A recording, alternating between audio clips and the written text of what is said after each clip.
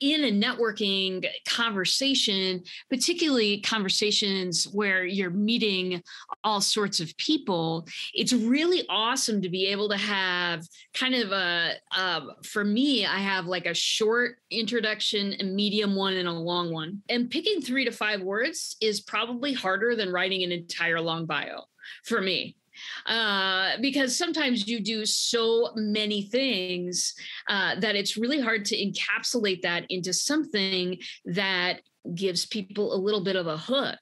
Um, but I've worked on it. And uh, mine is unconventional traction strategist.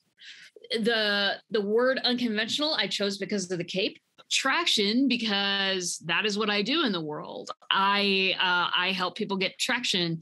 The last word is uh, strategist because people will always people always respect strategists a little bit more. It takes a little bit to be a strategist.